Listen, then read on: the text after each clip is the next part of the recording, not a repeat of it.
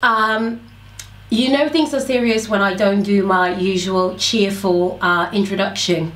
Um, but I feel like this issue that has brought me to speak to you guys is serious enough for me to skip all of the happy, positive kind of intro that I normally do.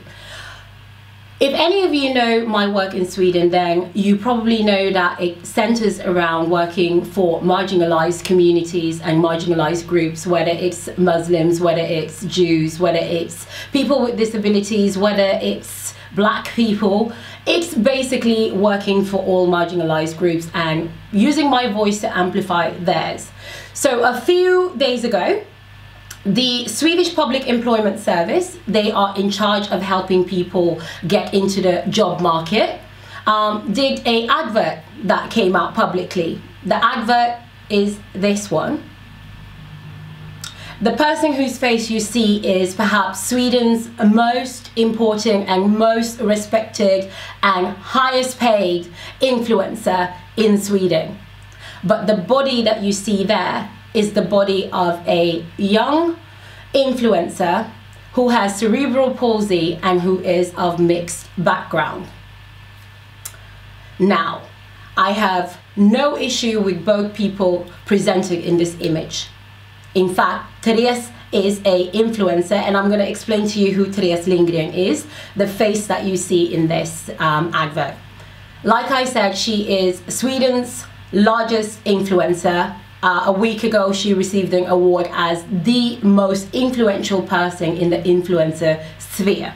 She also happens to be someone that I consider an acquaintance and have had conversations with her on social media in private um, regarding various issues.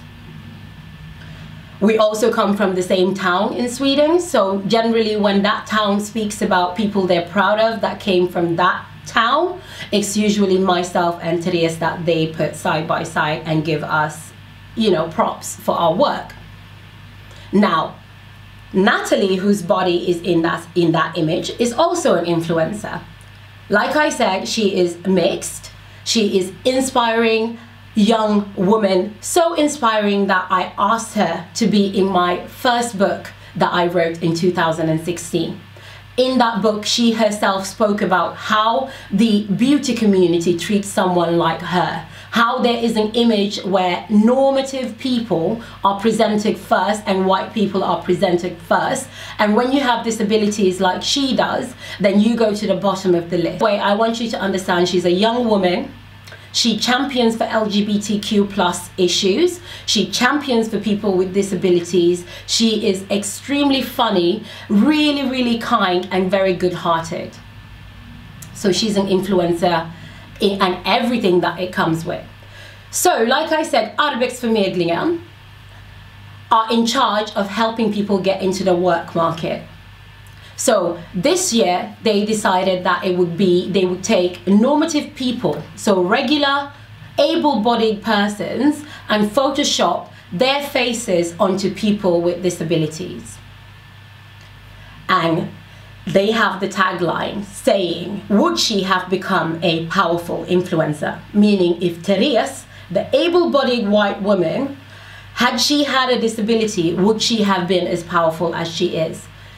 Now, there are several issues with the way they have done this. Number one, the Swedish un uh, Unemployment Service, Arbetsförmedlingen, have not done a great work when it comes to ending discrimination in the work market. In fact, it has only gotten worse and they have less to show for helping people, especially those from marginalized groups and who are disabled to work in, get in the work market.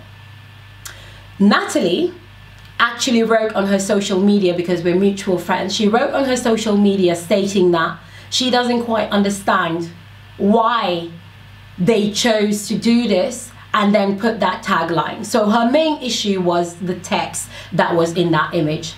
Now when she posted this, I reposted her on my platform Action for Humanity.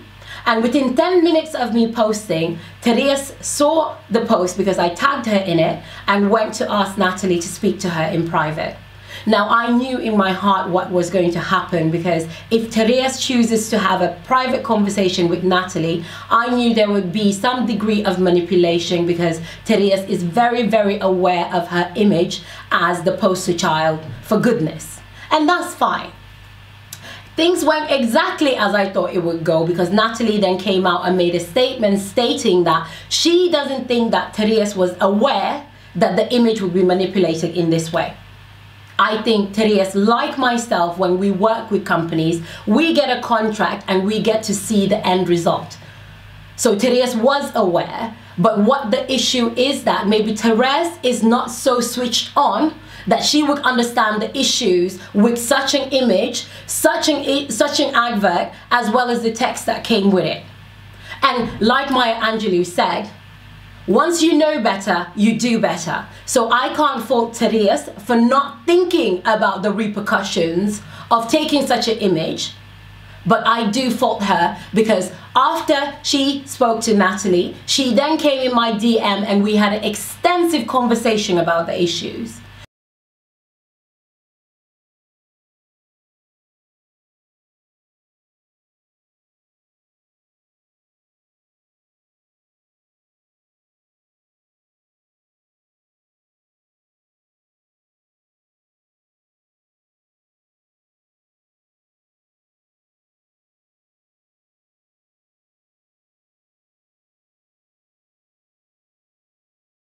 She even asked me, she said she wanted to learn and she asked me and took my time for me to tell her how this can be fixed. And what I said was quite simple. I hope the company that did the advert can take responsibility, understand that this harms two major groups in society. First, people with disabilities, but secondarily, the black community and the mixed community.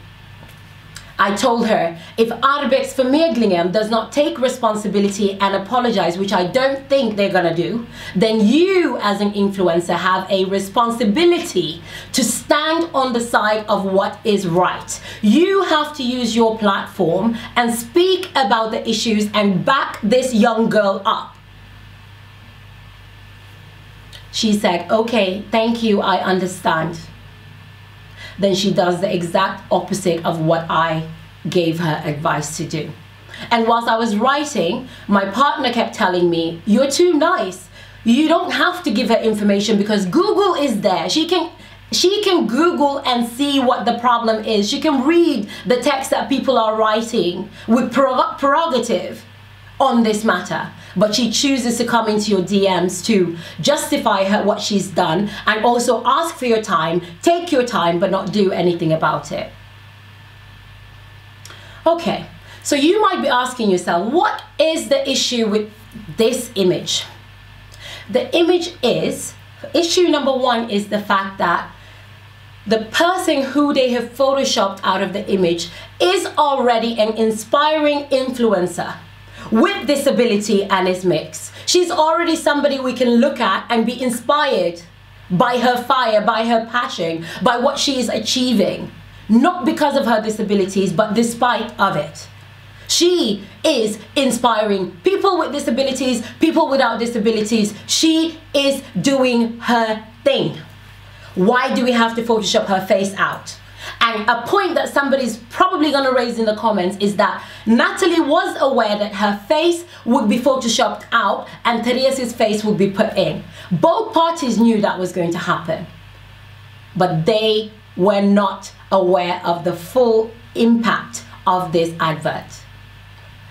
Natalie states clearly, when she went to be photographed for this image, the photographer made her exacerbate, so make her disability worse. So she's already in a vulnerable position, but they placed her on her wheelchair, made her feet visible, twisted it around, and it made her uncomfortable. So they made her disability worse for an impact of this image. She felt uncomfortable. Nobody should feel uncomfortable when you think that the end result is going to be good. Secondarily, she feels embarrassed that this image came out and it pays her out to not even being influencer. It erases everything she's worked for all these years. And she has been a champion far more than Arbetsförmedlingen ever has done for people with disabilities. She's a young girl that is embarrassed. Her image is plastered all over Stockholm for everybody to see at bus stations, in the train stations, in various cities. Arbex has responded and said they're not, they feel like the message is what matters, so they're not really gonna pull out any of these adverts. Just like I expected. Secondarily, Natalie has been very clear that people shouldn't send hate or, or, or, or threats to Therese. Now I've seen pretty much everybody who has DM'd because they've sent me those same images. They haven't threatened anybody, they haven't been rude to anybody, they have been extremely kind. They have said, hi Therese, you've probably already seen this, but what do you think about it? And Therese's answer has been, both myself and Natalie were aware of this image. Natalie was never sent the image with the text to give her approval. So she never gave her approval for this image and this text. So Therese there has lied because she's not really taking responsibility. She's very, very careful that her image should not be tarnished in this, just like most influencers do. Second problem with this image, and I explained this quite thoroughly for Therese, is the fact that you've not only taken a person with disabilities, you have also taken a mixed race person and erased her skin tone and erased her ethnicity. We know that people with disabilities are discriminated in the work market, but what people are not fully aware of is the fact that when you are when you have disabilities and you are a person of color or even worse a black person or a mixed person the discrimination you face in the work market is a lot higher. Okay? That's the problem in the job market today. So a white person with disabilities would have four times higher opportunities to get employed by companies than a person of color or a black person. How do I know this? Well, there has been reports and statistics done by Länsstyrelsen that has been government funding to show how much the discrimination is in the work market. Let me put it this way. If you're a white person, and you send out applications for jobs, you are 21% going to receive positive responses. If you're a person of Polish descent, you will get 17% positive responses. And if you are a person that has a name that suggests you are from Iraq, you are, guess how much? 10% positive responses is what you can expect. Now, if you're a black person, especially if you have a Somali sounding name, you will only receive 5% positive responses to job applications. So do we see here that race is a huge problem when it comes to discrimination in the work market? So for Arbetsförmedlingen to actually do this advert and erase a person's ethnicity and all of their work is tone deaf to say the least. This advert is ableist and it's also whitewashing, which goes in line with racism. So Sweden's sweetheart refuses to take responsibility for this. She's in the comments telling people, telling Natalie that they should deal with this privately. But this is not a private issue and this is not an issue that two people can talk about privately when the imagery is being projected in Sweden's largest city, Stockholm. We have gone beyond let's keep it private between two of us. My message to Therese Lindgren is very simple. You are a person with influence you are a person with power. You are a person who has now made a mistake that harms marginalized groups. What you need to do at this position is not to try to bury the issue and to hope it goes away. What you need to do is take responsibility. Take humility and adopt it as part of your personality and make right what you have done wrong. Make right the people you have harmed. You need to be aware that this person you're harming is somebody that looks up to you.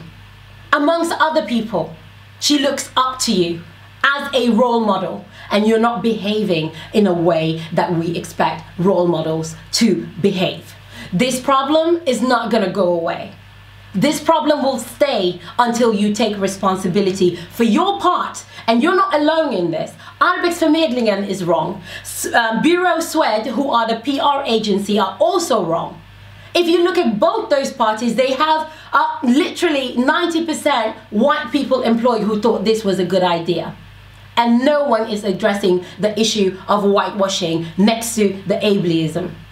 So, to my followers out there that follow Therese, that love Therese, understand one thing. I have no issue with Therese. I don't have an issue with Arbetsförmedlingen. I don't even have an issue with Bureau Swed, the PR company but I have an issue with every organization and every public person that steps and harms people that are already at the bottom of the hierarchy in society.